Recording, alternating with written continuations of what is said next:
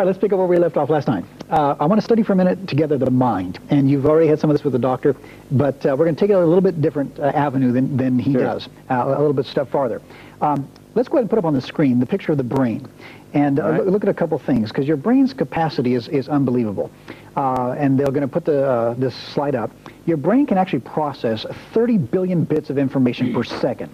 Your brain is the equivalent of 6,000 miles of wiring, Unreal. literally in it, and it houses 28 billion neurons, which communicate with each other over 100,000 miles of nerve fibers, okay? Now, these neurons that we're talking about here, what these simply are, these are nerve cells that conduct impulses in your brain. And without your, uh, these neurons, your brain would not be able to interpret the information that comes to you through your five senses, your taste, touch, smell, hearing, sight, and so on. Each one of these neurons is a tiny self-contained computer, and you got 28 billion of them, all right? Let's go to the next slide on the screen and uh, read a little bit more here. It says you have 20, about 28 billion neurons, nerve cells that conduct impulses. Each one can process over a million bits of information. So of the 28 billion neurons, each one itself can do a million bits of information. You've got over 100,000 miles of nerve fibers in your brain. And information from one single neuron can actually travel to over 700,000 of the neurons in less than 20 milliseconds. And so unlike our, our step-by-step computers today, your brain can literally take uh, anything, any problem, anything you're dealing with, and uh, it can work on these things all at the same time with all these 28 billion neurons. It's, it's just an incredible setup that God has given us. And uh, here's the, the problem we have then.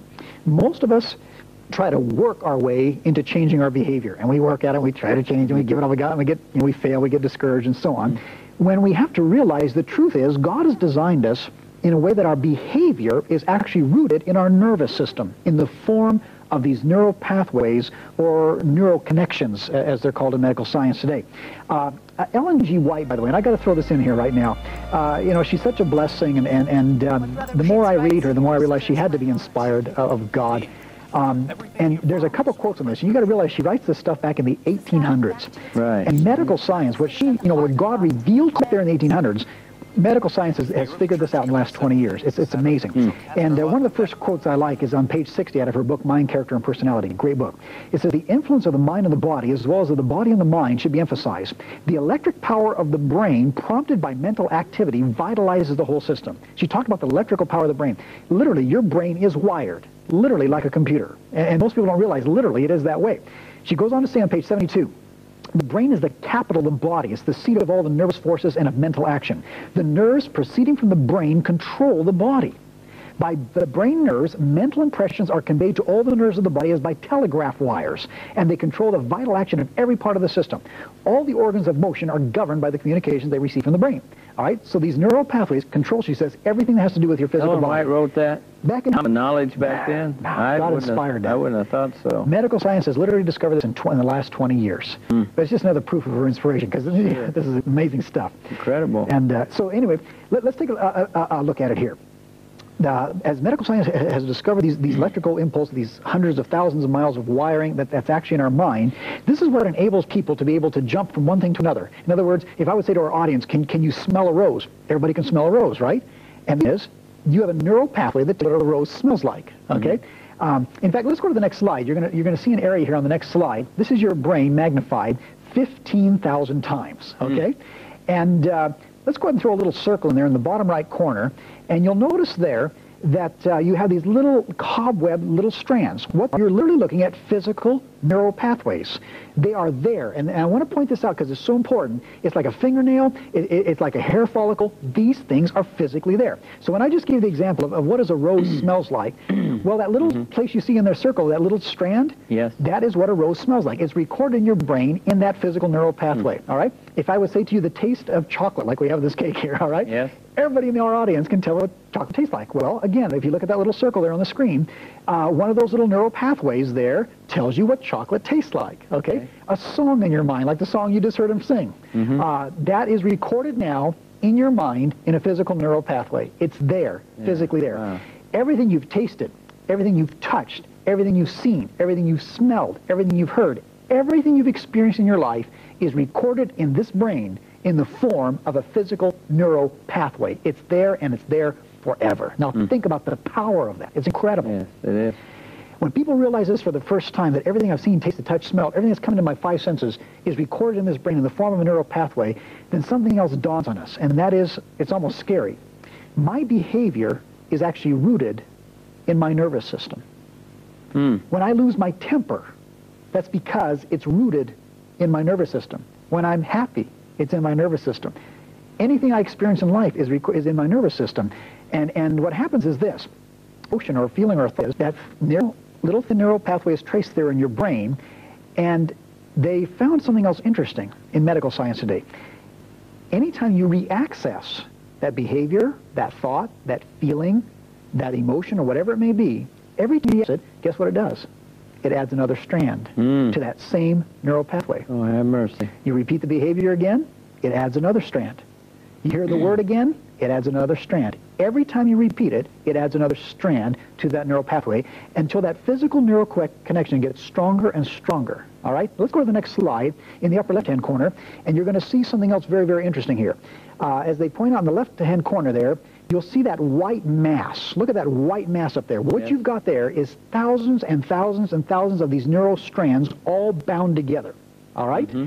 This person, let's say that, that this person has a problem with his temper and he loses his temper all the time. All right, every time he loses his temper, he adds another strand. He loses his temper the next day, he adds another strand. Then let's say he watches a TV program, and in the TV program, the people are mad and losing their tempers. It adds another strand up there. All right, let's say he reads a book, and in the book, people are losing their tempers. Well, it adds another strand if he thinks that way. He's on the job. He sees people get mad on the job lose their temper, adds another strand. Every time he sees it, experiences hmm. it, hears it, it adds another strand. And so what your literature right now, you're seeing that mass together. And when people say, I can't help, I can't seem to help myself, you know what? Right, can't. That's the reason why. So now you get your brain. And, and it's there and it's there forever. And so the more that uh, pattern of behavior, uh, likely that your behavior becomes. Uh, the more you strengthen it by repetition, the stronger. People have cables in their brains to certain behaviors like depression, and they Little 101 on the brain, the frontal lobe, very important area of the brain. This is where we experience spirituality, morality, and the will, reason and conscience, judgment and decision making, prayer and worship, discerning spiritual truth. All these things take place in this very important area of the brain. But not just that, also empathy, being having compassion for others, and altruistic love of others, and get putting their needs above your own. Now you know, based on that list, this is a super important area of the brain to have strong, healthy, functioning. Well, the Bible actually told us about the frontal lobe long ago. Isaiah tells us, Come, let us reason together, says the Lord. The fruit of the Spirit is self control and love your neighbor as yourself. All of these are frontal lobe activities altruism, self control, reason. They were all there in the Bible all along. Now, there's another area of the brain that's not talked about as much as the frontal lobe that I want to mention just briefly, and that's called the limbic system. It's often the, the competitor of the frontal lobe, it's, off, uh, it's often the, the opponent of the frontal lobe. The limbic system is known as the lizard brain by evolutionary psychologists. Now, I don't believe that we evolved from lizards, but I do believe, and, and the science shows, that these are where our more animalistic tendencies, our more base passions are rooted out of that limbic system in the, in the lower midbrain. The fight or flight mechanism, in other words, fear or aggression, those are limbic system impulses. The appetite for food or for sex, so you've got your lust there, your desire for fleshly things, that's also coming out of the limbic system circuits. How about this list? Fear, stress, lust, impulses, worry, anxiety, anger, irritability, negativity, and aggression. Now, I don't know a lot of people that want all of those things in control in their lives. I don't know a lot of people that say, yes, I want that limbic system strong and, and governing and dominating my psyche and my, my choices and thoughts. Not at all. We want this thing tamed. Now, by the way, the limbic system is part of the brain. God gave us a limbic system. We're supposed to, Eve was supposed to have a fear impulse when she walked over to that tree, right? But then you elevate that fear, that, limbic system impulse to the higher reasoning powers of the frontal lobe, and you evaluate it. You have, uh, have sound judgment and self control. So here she's using her frontal lobe. But the limbic system was sort of that red flag that alerted her to it. So don't think that I'm saying the limbic system is bad, but these things must be in their proper balance. The Bible also talked about the limbic system. Their God is their stomach, says Philippians 3:19. The desires of the flesh or the sinful nature Paul Paul refers to. This is coming out of the limbic system again. To be carnally minded is death. The carnal mind is enmity against God. There's that carnal nature, that fleshly nature that we're talking about. Now you might say, what does this have to do with television? What does this have to do with media, video gaming, etc.? I want you to imagine like you have a switch on the front of your brain, on your forehead and you sit down to view theatrical style entertainment television, and I said it that way on purpose, not a documentary, not a DVD on media, not a sermon. Theatrical style entertainment television does this literally just turns off your frontal lobe. It's totally subdued while you're watching this entertainment.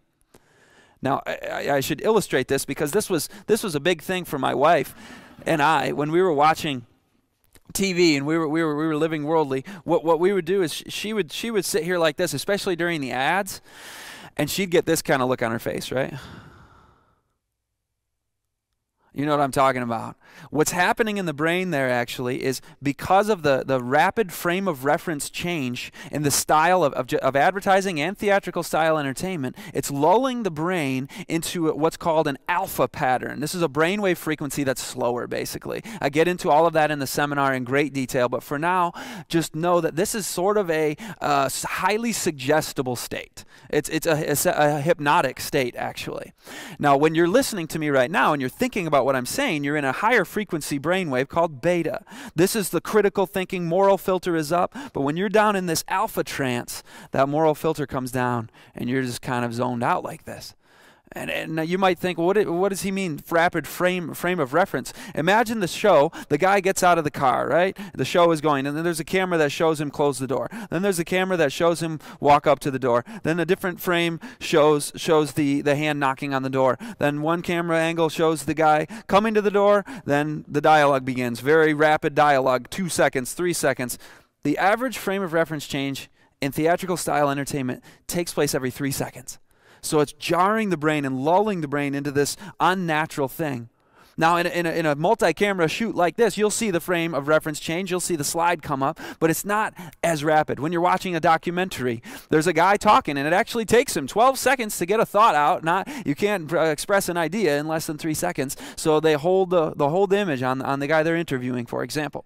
So it's only this style entertainment, but this is what's happening. And actually, Dr. Akio Mori at Nihon University in Japan studied the same thing when they're playing video games. He, he hooked up a monitor, looked at brainwave activity, and it was the same thing, but even stronger with video games, lulling down into this sort of alpha trance. Now, I should mention, I, I use the word hypnotic.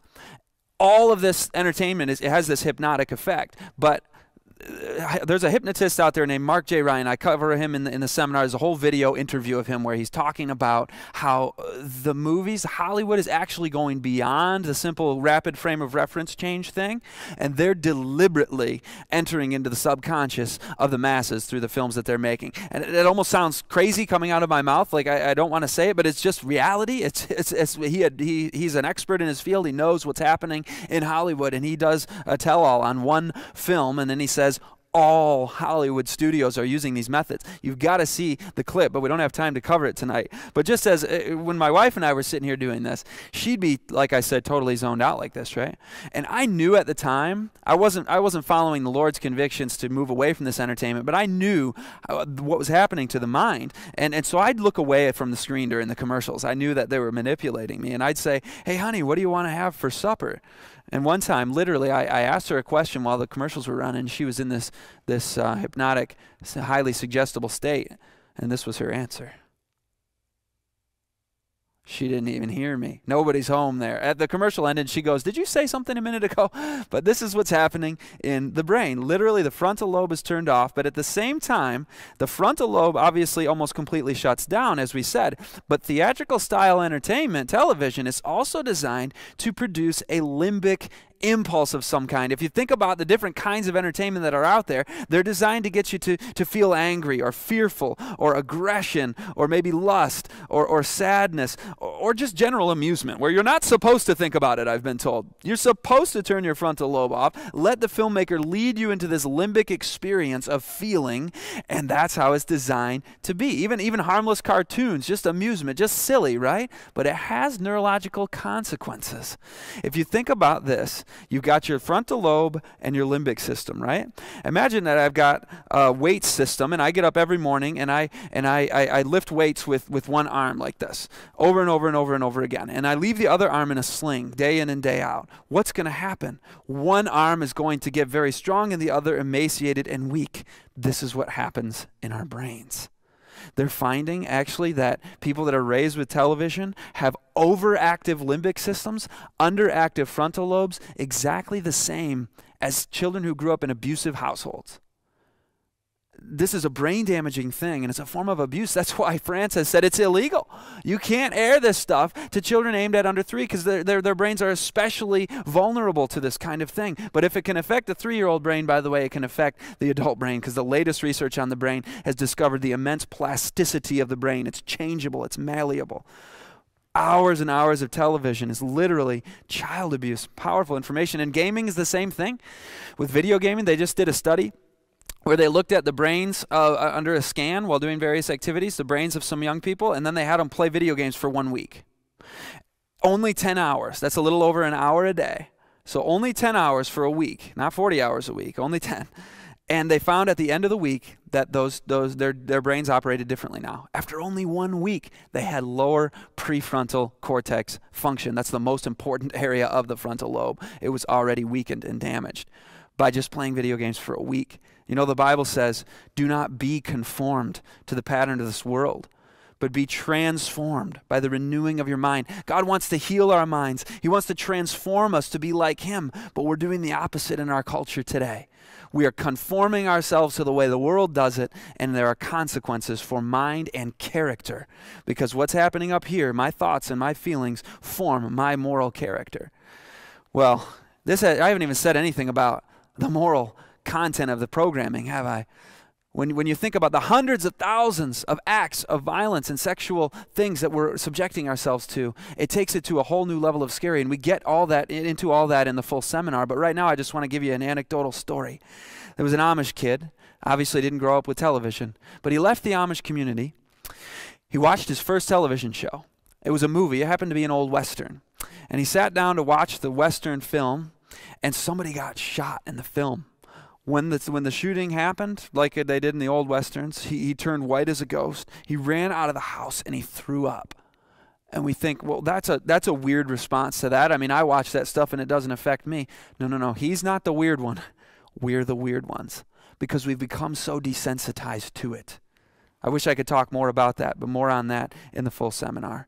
You see, when the brain sees these things, Steven Pinker, a psychologist, tells us that the visual system never learns that television is just a pane of glowing phosphor dots, and that the person never loses the illusion that there is a world behind the pane. In other words, what you see with your eyes is reality to your brain. Your brain does, your visual system doesn't know how to discern between reality and fiction. So when we're viewing these things, it is like our reality to us. It's not just entertainment. Now, do you want some good news? How about some good news about the brain? Newberg and Waldman did a study where they had subjects of the study contemplate a God of love for 12 minutes a day, every day, for 30 days. At the end of the study, they found that the area of the frontal lobe associated with empathy and altruism grew measurably. So we know, we know that studying our Bibles is going to be beneficial to us, but now the science confirms it. You will be a more loving and compassionate person. The anterior cingulate cortex of the frontal lobe will grow measurably and you'll become the more more christ-like the more you are thinking about god's character by beholding we become changed and we're beholding the things of this world i wonder what we're being changed into there but there's a couple of books that have done a really good job collecting a lot of the studies that have been done. There have been thousands of studies done on the effects of television on, on, on various aspects of human society and physiology. Don't expect to hear these studies reported on TV, but they've done a good job in plug in, drug, and remotely, remotely controlled collecting all these. And so i am just going to list a few. First thing, television viewing is a major cause of depression. All of these have studies backing them up. Decreases academic achievement, inhibits speech development, decreases reading comprehension, increases the likelihood of children developing ADHD decreases creativity and imagination. And that one's especially interesting to me because I had a well meaning loved one share with my wife and I, and, and we're not mad at this person, but they said, you know, your little one Levi, he really should be watching some TV because if he doesn't, he won't develop creativity and an imagination. And I'm going, no, the studies show the opposite. That when you're in this passive mode, your brain is not active and imaginative and creative, it's going to actually numb those capabilities. TV viewing decreases the ability to succeed, causes vision problems, makes you less likely to exercise, causes emotional problems, including in some cases PTSD, post traumatic stress disorder. And in the 1980s, this is an interesting one. Households that acquired cable TV earliest saw spikes in, in, in autism. So, in the ongoing debate about what's causing autism, this could be a factor. Moving on.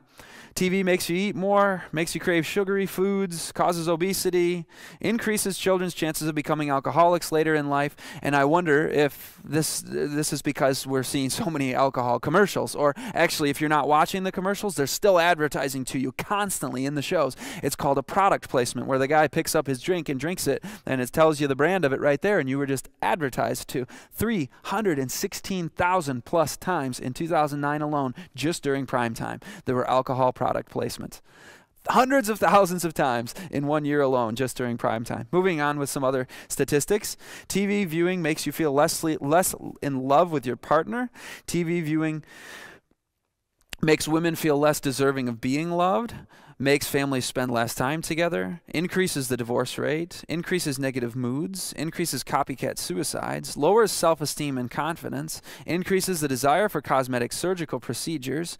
Even in the news, this is an interesting one. They did a study where they had people view 14 minutes of negative news per day. Just 14 minutes, negative news per day. It increased uh, anxiety, it increased stress hormones that impair your memory, it increased sad mood, it increased personal catastrophization, like terrible things are happening in my life, worrisome thoughts, and so on. All went up. Moving on with some more. TV viewing reduces athletic performance, actually increases Alzheimer's disease. Dr. Friedland was the one that discovered this, and he said that uh, the reason this is happening is because you're in this passive, semi conscious state while watching normal television programming, and that's the mind is not active, so it's not being exercised. So the more television you watch from age 20 to age 60, the greater likelihood for Alzheimer's disease. Continuing on, TV viewing stresses the body. TV viewing causes sleep deprivation. It has doubled the murder rate in Western societies. I got to pause on this one for just a second because you might say, What? How is that possible?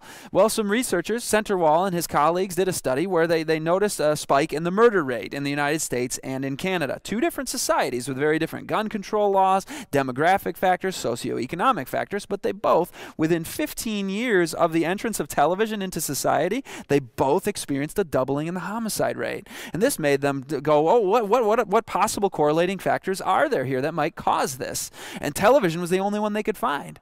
So they looked at South Africa. South Africa got television later, 1970s. And as soon after the entrance of television, they hypothesized that South Africa would also experience a doubling in the murder rate, same time period, 15 years from when television came in. And they looked at white on white crime only, not, not the apartheid violence that was happening. And guess what happened? Just as they predicted, a doubling in the murder rate in South Africa. And they said, we can conclude nothing else other than television caused this. But what were we watching back in the 1950s? We were not watching Terminator. We were watching Leave It to Beaver and Lassie. How did Leave It to Beaver and Lassie cause the murder rate to double, Dr. Centerwall? Well, here's the answer. Imagine that I've got a spectrum here. On one end, we've got self control, and on the other end, you've got impulsive behavior. Now, everybody, based upon their genetics and their child rearing and their life choices that they make, finds themselves somewhere on this spectrum. Maybe more self control, maybe more impulsive behavior. Well, what television does is it sends everybody one notch over. Because you remember the frontal lobe gets weakened, limbic system gets enhanced, everybody moves one notch over. So you imagine if you would have otherwise had a very self controlled situation driving down the road, a guy cuts you off. You just pray for him, smile, and move on. You've moved one notch over and you kind of grit your teeth and grip the steering wheel. Now, if you would have done that, television has damaged and retrained your brain to be more impulsive in your behavior, more aggressive, and now you step on the gas and glare at him. If you would have done that, you step on the glass, glare at him, and honk the horn. If you would have done that, you're, you're, you're screaming at him, you're, you're giving hand gestures, etc. Now, the person who is right on the edge of the abyss, ready to, just close to committing murder, they're the ones that are put pushed over the edge and they actually pull out the gun and shoot the guy. It's just an illustration to show that no, TV doesn't make everybody go out and kill. But what it does is it moves everybody over on the spectrum. And I don't want to be going this direction. I'm not afraid of being a murderer, but I am afraid of having less self-control in my life. I want to have I want to go in this direction. That's what the Lord wants for each of us as well. Moving on with some more studies. It stunts television viewing stunts the development of children's brains, damages the brains of both children and adults, and decreases your lifespan. This is an interesting one. Have you heard about how they study cigarette smoking? And they can actually look at the lifespan of a smoker, count how many cigarettes he smoked during his life, and they can average out how many minutes each cigarette took off his life because the average uh, smoker's lifespan is shorter than the average lifespan. So if he wasn't a smoker, you know, they can just do the math. They've found that the average cigarette takes 11 minutes off your life for every time you smoke a cigarette. 11 more minutes off your life. 11. Now they've done the same thing with television, except it's twice as bad. Look at the slide. An average of 22 minutes is taken off your life for every hour of TV you watch. Now, we make strong statements about non smoking, but an hour of television is twice as bad for your health in terms of measured on a lifespan issue. Twice as bad. Wow.